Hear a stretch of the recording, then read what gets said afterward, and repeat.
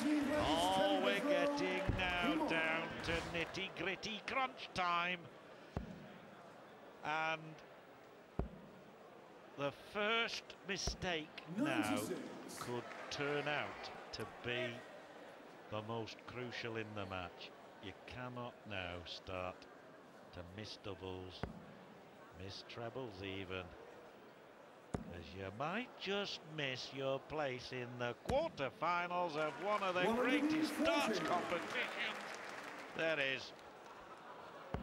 Yes, you're quite right, John. It's getting to that stage. Remember, first to 13 as Jenkins comes in with a 180. Five in the match now for Terry Jenkins. That is stunning. And uh, he needed it as well because Priestley had thrown well in the previous visit. Yeah, look how look how close this match is in the three-figure stats, in the average, in the score, in the percentage checkouts. This is a really, really genuinely close encounter. 54. There is hardly a wafer-thin piece of paper between them. Slightly ahead on the percentage checkouts. Terry Jenkins. 105. Horns locked. require Nine apiece. Jenkins going for the maximum checkout here. Priestley, 156. 60. Would well, it would not only bring the house down, it would give him a wonderful advantage, Nigel. It would. We saw him do a 155 earlier. He's made a decent start. Another one of those would be nice.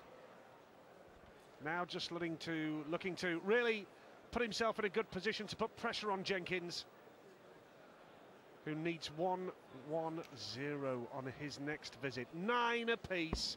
What a game. 96. Yes, and maybe for the first time in this match, a hint of Dennis Priestley just beginning to feel the strain. 56 left, tops left for a 10-9 lead. No, no, no,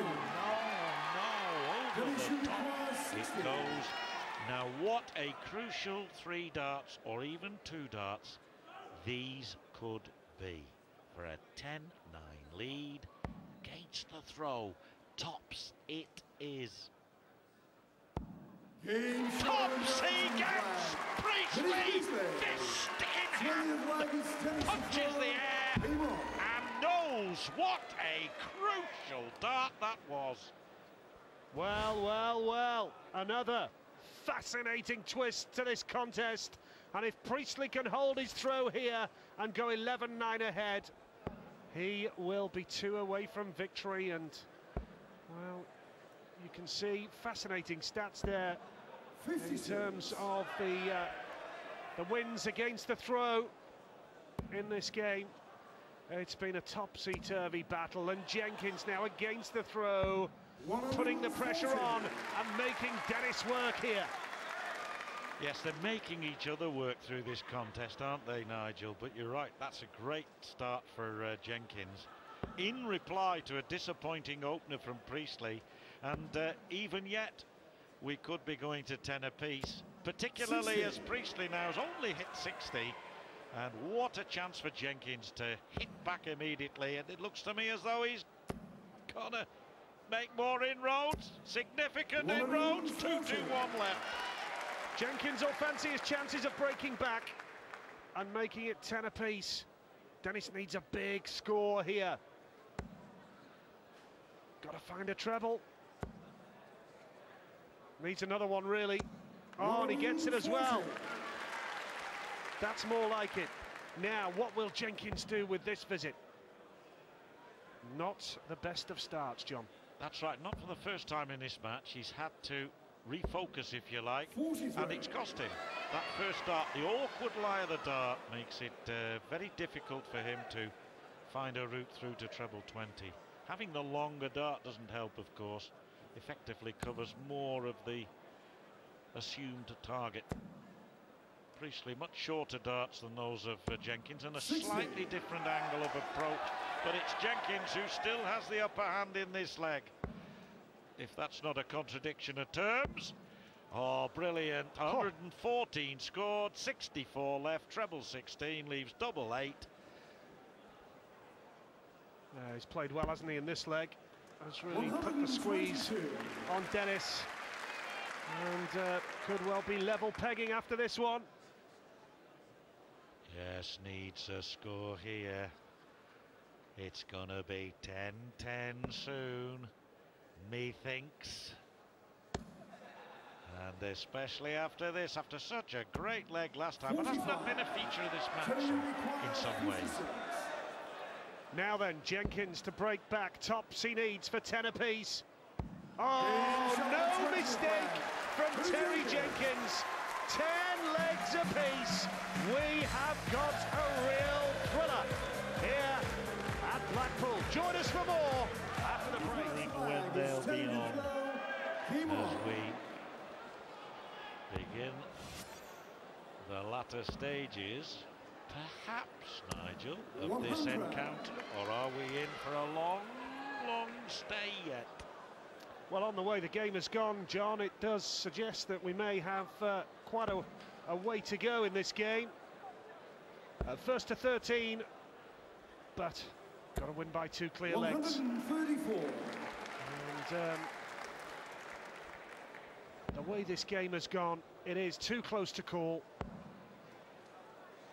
Unpredictable, thanks to inconsistency in the large part from both players. Well, 12 of the 20 legs have been held, i.e. the player throwing first has won. Uh, so eight have gone, four each against the throw. That's why they're dead level. And each time Priestley has uh, broken Jenkins, he's somehow found a way back immediately. The second leg he replied after Priestley had taken the opener.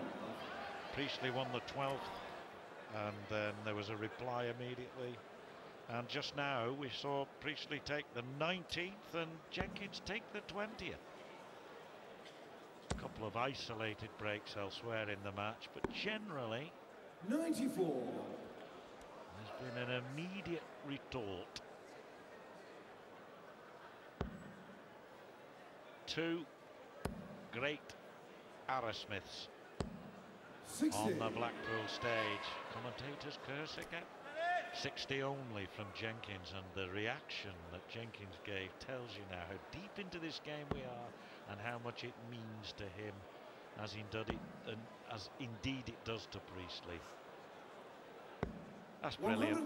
Now that was his that was his forte in days gone by. Rarely does it now, but once upon a time he would find that treble 18 with such regularity. And he's left himself 54. Now he won't want the treble 18 here, now, will he? 54 he needs then to break the throw. Tops he goes for. Only just got 14 there. Tops he needs.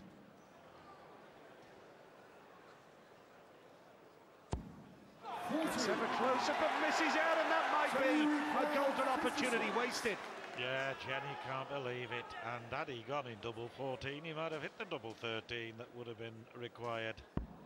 Now then, Jenkins for double top to hold his throw, double 10, slight move across, very slight indeed. A move Finishing Wire. required 40. marginally so. The pressure is intense up there on stage. Tops for Priestley. Now tens. To break the throw. Oh, he's done it! He's done it, and he's potentially now just two legs away from victory.